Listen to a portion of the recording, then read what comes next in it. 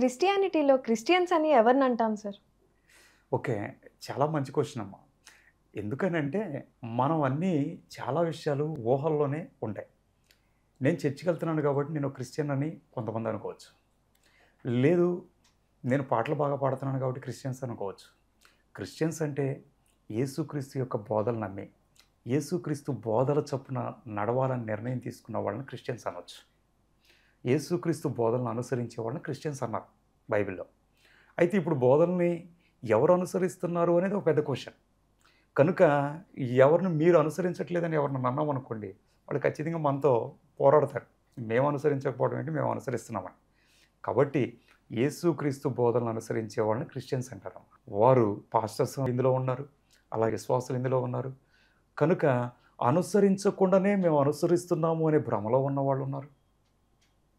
కనుక అనుసరించడము అనేది ఖచ్చితంగా ఇక్కడ చేయాల్సిన పని. అంటే అనుసరించేవాళ్ళు యేసుక్రీస్తును ఫాలో అయ్యేవాళ్ళు ఆయన బోధనలు ఫాలో అయ్యేవాళ్ళు క్రైస్తవులు అంటారు. చాలా బోధలు వచ్చినాయి కదా. చాలా బోధల్ని ఫాలో అవుతున్నాం కదా. ఏ బోధ కరెక్ట్ అంటారు?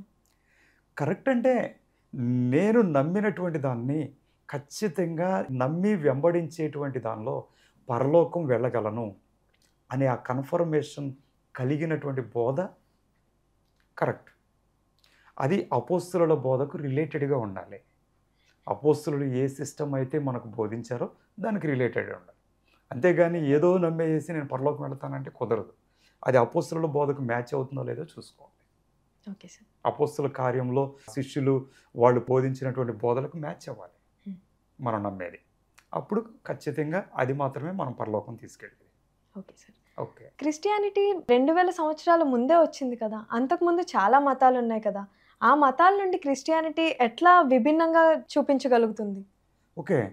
క్రిస్టియానిటీ రెండు వేల సంవత్సరాల నుండి వచ్చింది అనేది అందరికీ తెలిసినటువంటి విషయమే. చరిత్ర ఇందులో ప్రత్యేకంగా తెలియని విషయం లేదు. చాలా మతాలు ఉన్నప్పటికీ క్రిస్టియానిటీ ప్రపంచం అంతా లేకపోతే అందరినీ ప్రభావితం చేయడానికి ఒక ప్రాముఖ్యమైన కారణం ఏంటి అంటే మిగిలిన మతాలు బోధించని ఒక ప్రాముఖ్యమైనటువంటి కాన్సెప్ట్ క్రిస్టియానిటీలో ఉంది.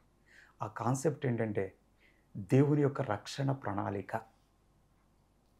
ఇది మిగిలిన మతాల దగ్గర దొరికే కాన్సెప్ట్ కాదు. క్రిస్టియానిటీలో ఈ కాన్సెప్ట్ అనేది వెరీ ఇంపార్టెంట్ ఇది. ఈ కాన్సెప్ట్ మీద కాన్సన్ట్రేషన్ చేయని క్రిస్టియన్ ఖచ్చితంగా ఎప్పటికీ క్రిస్టియన్ కాలేడు. Very very important concept in Christianity. దేవుని రక్షణ ప్రణాళిక అనే దాన్ని ఎవరైతే నెగ్లెక్ట్ చేశారో వారు ఎప్పటికీ క్రిస్టియానిటీలో క్రిస్టియన్స్గా ఉండడం సాధ్యపడదు. పరలోకం వెళ్ళడం సాధ్యపడదు. దేవుడిచ్చే వాగ్దానాలను అనుభవించడం కూడా సాధ్యపడదు. కాబట్టి మిగిలిన మతాలకు క్రిస్టియానిటీకి ఉన్న వేరియేషన్ ఇది. Okay sir. ఆ రక్షణ ప్రణాళిక అనే వేరియేషన్ లేకపోతే ఇంకా పెద్ద తేడా ఏం లేదు. సార్ మీరు చెప్పినట్టుగా రక్షణ ప్రణాళిక గురించి మన వ్యూవర్స్కి అర్థమయ్యేలా మీ మాటల్లో సింపుల్గా నాలుగు మాటలు చెప్పండి. ఖచ్చితంగా రక్షణ ప్రణాళిక అనేది వెరీ ఇంపార్టెంట్ కాన్సెప్ట్ కాబట్టి ఒక ఎపిసోడ్ ప్రత్యేకంగా చేయాలి అని నేనైతే అనుకుంటున్నా ఎందుకు అంటే దీని గురించి రకరకాలైనటువంటి బోధలు ఉన్నాయి రకరకాలైనటువంటి దీని గురించినటువంటి గందరగోళం ఉంది. కనుక అపోస్తులు వేసినటువంటి ఆ కాన్సెప్ట్ ఏంటి అనేది కొంచెం జాగ్రత్తగా వివరంగా మనం ఆలోచించి నేర్చుకుందాం. ఖచ్చితంగా దాని గురించి ఒక ఎపిసోడ్ అయితే చేద్దాం. Okay sir. ఇప్పటి వరకు జరిగిన కాన్వర్జేషన్లో మనం చాలా తెలుసుకున్నాం సార్. అయితే అసలు ఇస్రాయెల్లోనే క్రిస్టియానిటీ అనేది పుట్టింది కదా.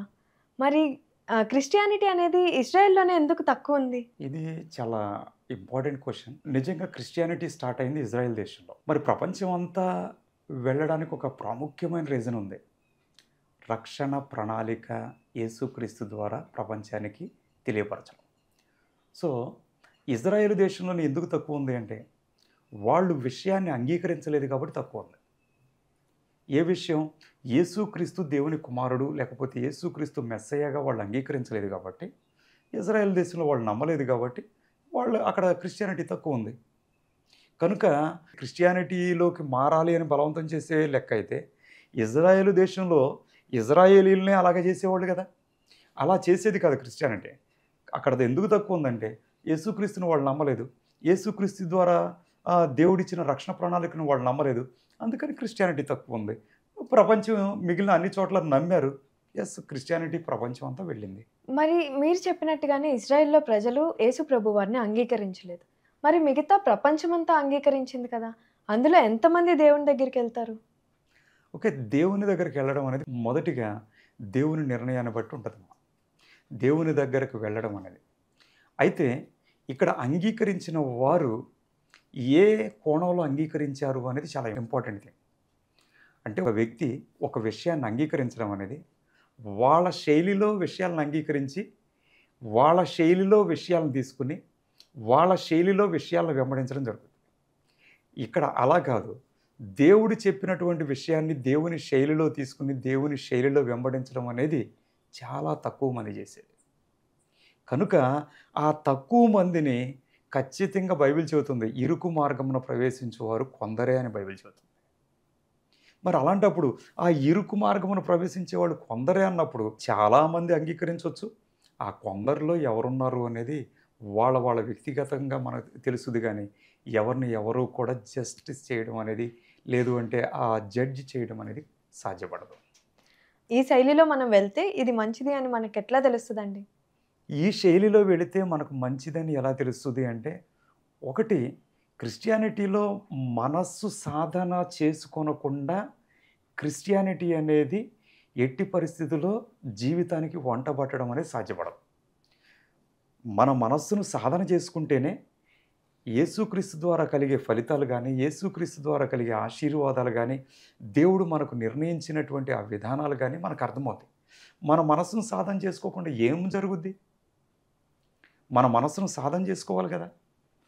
కనుక ఈ యొక్క మనసును సాధన చేసుకోకుండా నేను క్రిస్టియన్ అని చెప్పి ఏదో చర్చికి వెళ్ళి ప్రార్థనకి వెళుతున్నాను అనేటువంటి భావాలతో నింపబడినందువలన అంతా అయిపోయిందని అనుకోకూడదండి. ఈ రోజున చాలామంది ఏంటంటే ఇలాగ ఫీల్ అవుతున్నారు. మనస్సును సాధన చేసుకోవట్లేదు. నేను క్రిస్టియన్ అంటున్నారు. కనుక మనం చెప్పుకున్నందువలన క్రిస్టియన్స్ అయి అయిపోము. మనస్సును సాధన చేసుకోవాలి. దేనికి? యేసుక్రీస్తు బోధల చొప్పున మన మనస్సును సాధన చేసుకుని ఆ చొప్పున నడవడానికి ఖచ్చితంగా మన మైండ్ సెట్ని ప్రిపేర్ చేసుకోవాల్సిందే. కాబట్టి ఏ శైలి అంటే మన మనస్సును ఆయన బోధలకు అనుగుణమైన శైలిలోకి మార్చుకోవడం ద్వారా మాత్రమే రైట్ వేలో వెళ్తున్నట్టు. ఓకే సార్ మీరు చెప్పినట్టుగానే ఏ విధంగా మనం సాధన చేయాలి? ఏ విధంగా సాధన చేయాలి అంటే హండ్రెడ్ పర్సెంట్ టైం ఖచ్చితంగా స్పెండ్ చేయాలి. ఈ ప్రపంచంలో ఏదైనా ఒక విషయం మన జీవితంలోకి తెచ్చుకోవాలి అంటే దానికి టైం ఇవ్వకుండా మన జీవితంలోకి ఏది రాదు. సపోజ్ మనీ గెయిన్ చేయాలి దాని కొరకు టైం ఇవ్వాలి. లేదు ఈ ప్రపంచంలో మనం ఏదైనా కానీ ఆరోగ్యం సంపాదించుకోవాలి దానికి టైం ఇవ్వాలి. అలాగే వస్తువులు సంపాదించుకోవాలి దానికి టైం ఇవ్వాలి.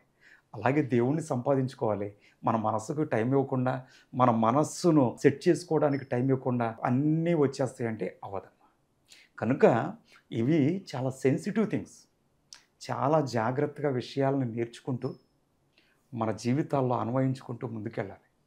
కనుక మన మనస్సును మార్చుకోవడము అనేది అది కేవలం దేవుని సహకారంతో చేయాల్సిన పని కానీ మనంతటకు మనం చేయాలి అంటే అవ్వదు.